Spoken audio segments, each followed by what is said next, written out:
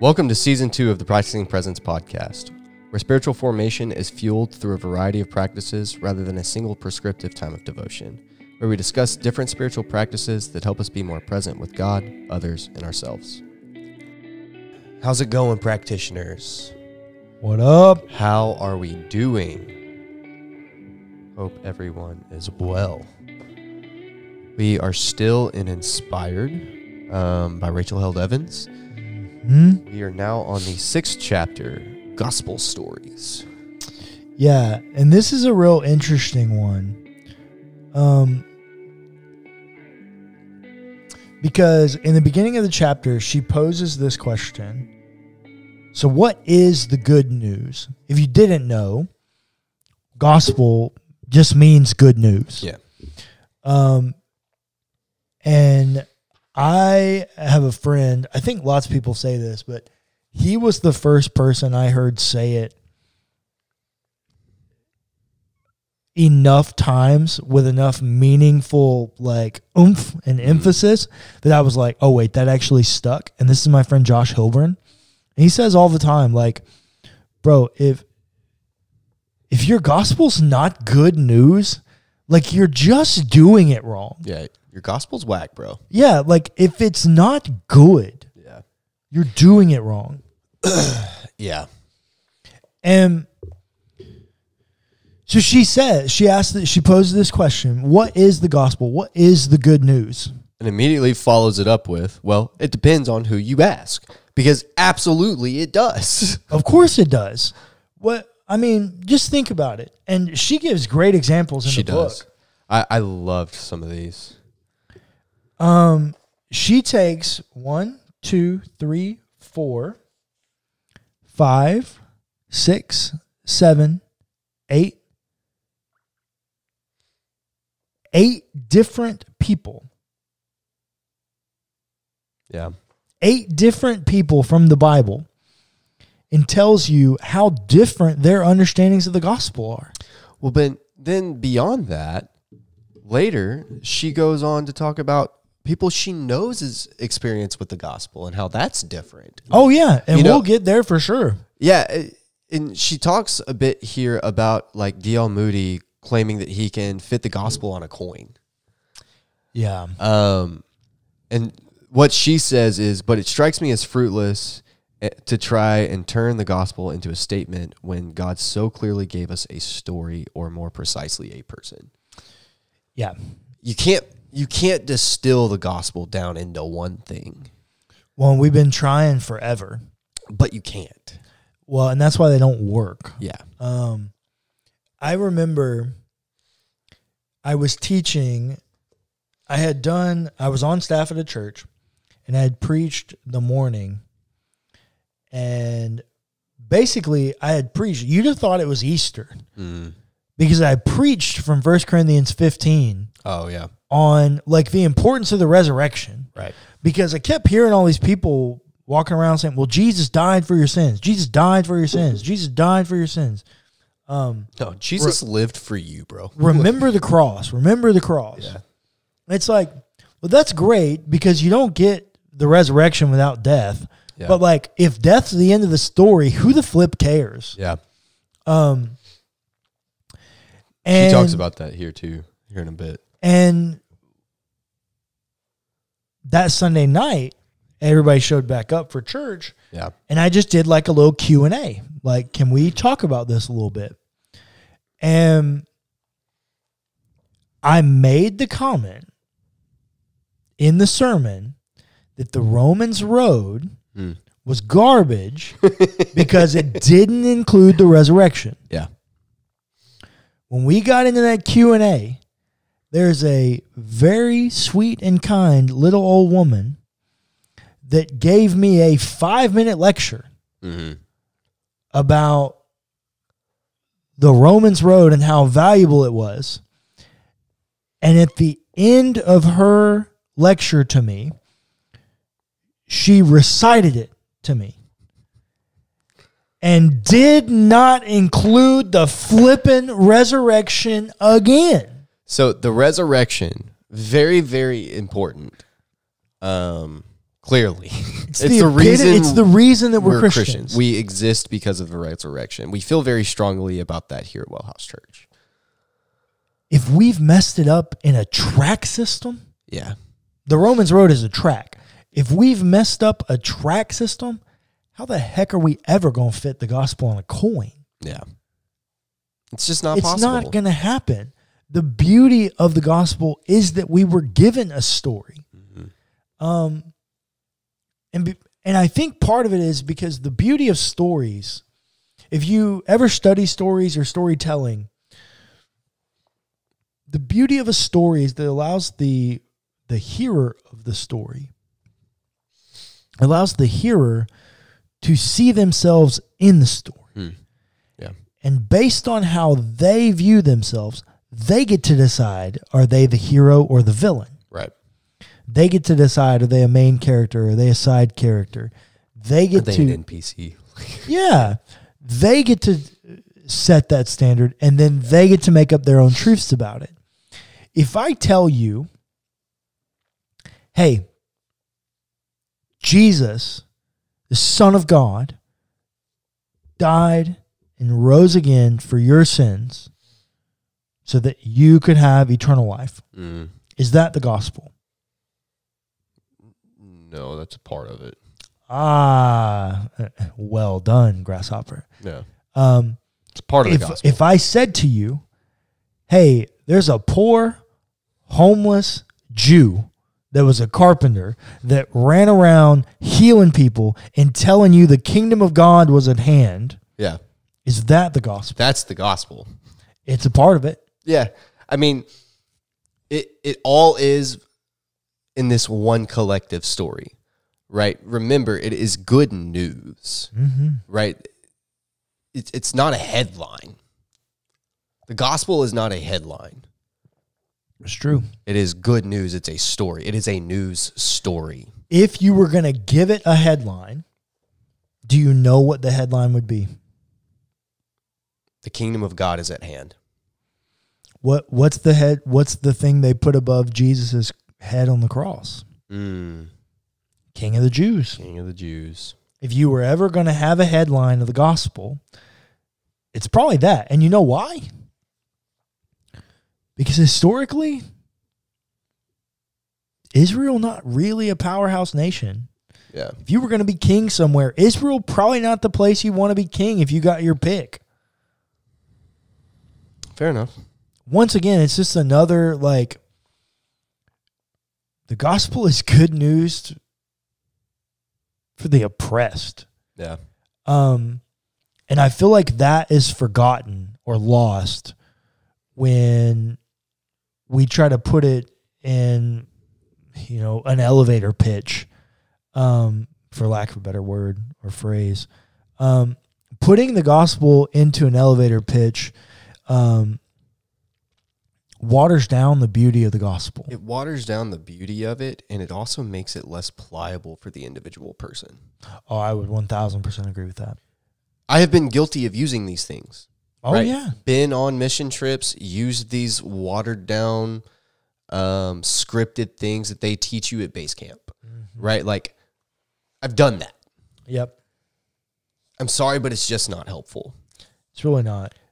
I used it. Guess what? It didn't work because it didn't fit the person that I was talking to. The person that I was talking to had a very different experience with who Jesus was Yeah. than what was being presented, than what I was presenting them. Yeah. I did not meet them where they were. I was trying to bring them into the narrative that I was taught.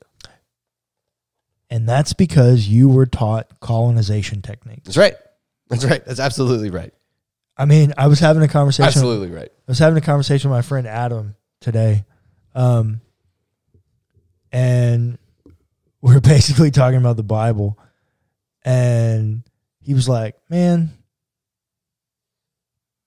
the Old Testament's really just a book of colonization," and I was like, "You know, He's kind of not wrong. that's facts, actually. He's yeah, it's not just a book of colonization." Um, it's literally a small group, Mm. about thirty thousand people. They come out of slavery in Egypt and just colonize. Yeah. It's what they do. Um, really, really not a great, really not a great thing. And we've taken some of those practices and we have just, uh, especially American evangelicalism, we have colonized the heck out of people in some Yeah. really heinous ways. Um, it's not the purpose of this podcast, but No. But but no no no. Yes it is. Yes it is because we're forcing a gospel yeah, that doesn't fit. It doesn't work. When you're doing that colonization technique, you're you're not allowing the individual person to experience God on their own terms. You're trying to bring God to them on your terms. Well, and truth is, that's just what American evangelicals are doing, right? Yeah. They're trying to meet God on their own terms. And this is what I say all the time when I when I say I don't believe there's really that much objective truth in the world. Um, this is one of the things I mean because why do American evangelicals read the book as colonization and think that's a good thing? Yeah. Because we ourselves did the exact same thing Exactly. to a land that was not our own, mm-hmm. came in, killed, raped, destroyed Yeah. civilizations worth of people, Yep. and then made a treaty with them that somehow somebody thought was a good idea that we can come in and make a treaty with people because we're taking the land that was already theirs mm-hmm. and we're going to relegate them to one of the smallest pieces mm. of which also has the least amount of beauty and we're just going to stick you in Oklahoma we're just reading our own experience onto the text Yeah. and this is also to our conversation yesterday about reading and critical thinking. Those people did not think critically about what they were doing. Mm. They received indoctrination. Right. Um, here, the gospel is a good news story because it allows the hearer to see themselves in it. That the encounter with a story is different than the encounter with a propositional statement. Yeah. Jesus died for your sins. Um, my investment, connection, emotional um, attachment to the story the life, death, and resurrection of Jesus, so much more than if I just heard, hey, there's salvation in Jesus. Yeah. Both very true. One significantly more beautiful. And Rachel says it best this way Indeed, in Scripture, no two people encounter Jesus in exactly the same way. Not once does anyone pray the sinner's prayer or ask Jesus into their heart. The good news is good for the whole world, certainly, but what makes it good varies from person to person and community to community. Liberation from sin looks different for the rich young ruler than it does for the woman caught in adultery. The good news that Jesus is the Messiah has a different impact on John the Baptist, a Jewish prophet, than it does the Ethiopian eunuch, a Gentile and outsider. Salvation means one thing for Mary Magdalene first to witness the resurrection, and another to the thief on the to the thief who died next to Jesus on a cross. The gospel is like a mosaic of stories, each one part of a larger story, yet beautiful and truthful all on its own. There's no formula and no blueprint. Yeah.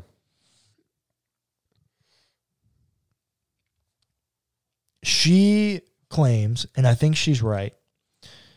She says, when someone asks, What is the gospel? the best response is, Let me tell you a story. And you can pick the story.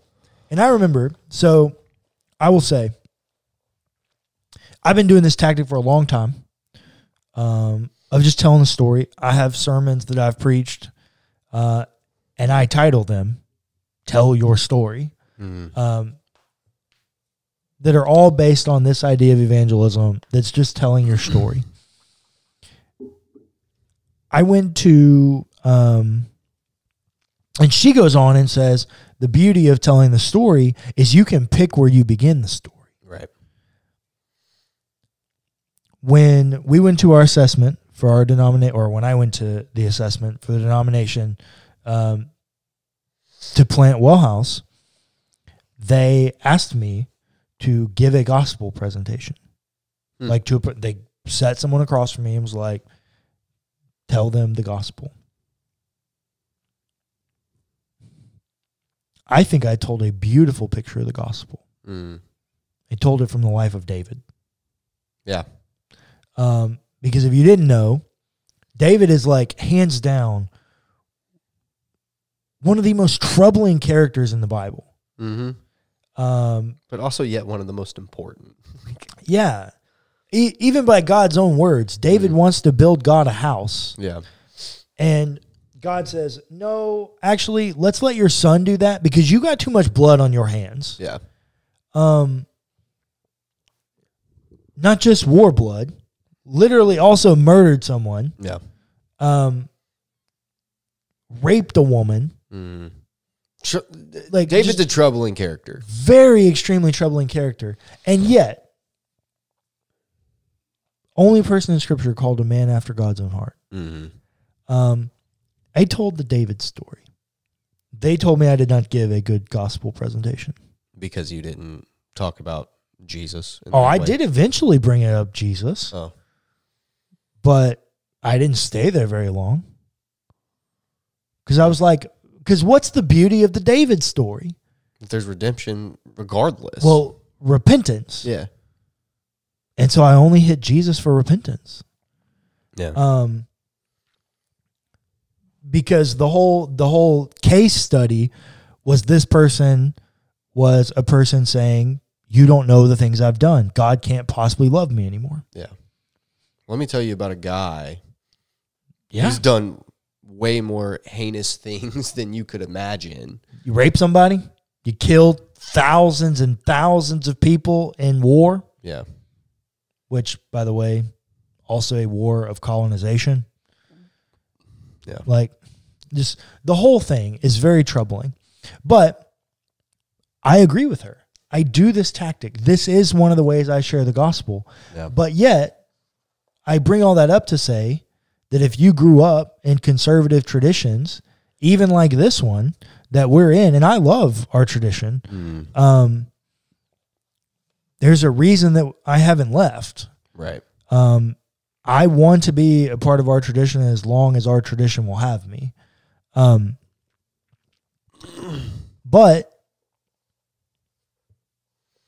sometimes people don't like it when the gospel's a story because, as Rachel so elegantly puts it, stories give us more leeway That's right. stories make it harder to nail down exactly what someone believes. Stories make it harder to exactly communicate all the right things so that you say the magic words to let everybody else know that you believe the things that you're supposed to believe. But that's just not the point. It's Remember what we were talking about on a closer look. Oh, yes. I, that's I was hoping you'd bring it back Okay. up. Yeah. Repent and be baptized. You know, it's it's as simple as that.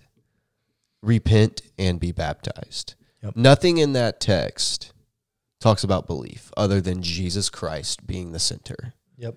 because he is and always will be. We are not Christians without Jesus. It means little Christ. We have to have him. Yep.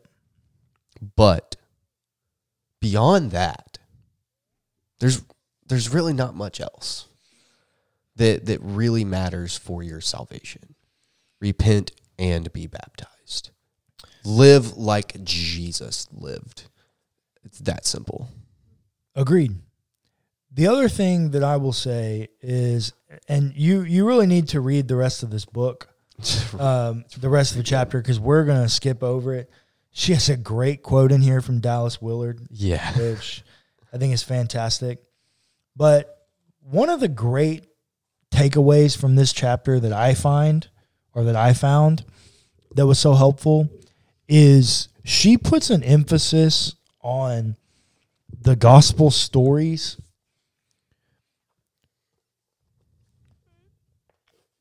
that we're doing an, a disservice to the gospel story when we summarize it in the death and resurrection of Jesus Mm, because Jesus lived right. and his life, the modeling of him as an exemplar,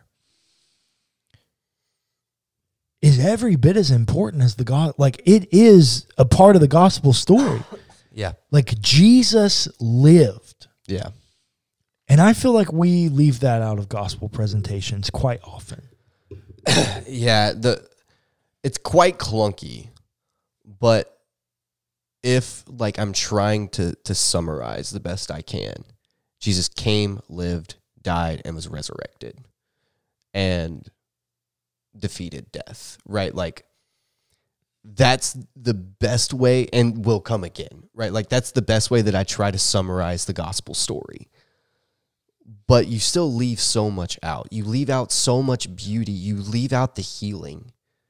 You leave out the the the the relinquish of the relinquishment of power. Um, you, you leave out all of these amazing restoration stories and people fight, fighting these conflicts inside of themselves, like the rich young ruler, right? There's so much beauty in the gospel story that it, if you try to summarize it, you're going to do it injustice. If you were gonna summarize it and you only had one shot, if your shot is anything other than liberation, Yeah. you've missed it. And you only get liberation if you read the life that Jesus lived. Thanks for listening to the Practicing Presence podcast hosted by Wellhouse Church. Be sure to give us a rating and a review if you enjoyed the episode. It's free and it helps us immensely. Also, feel free to check out our other podcasts.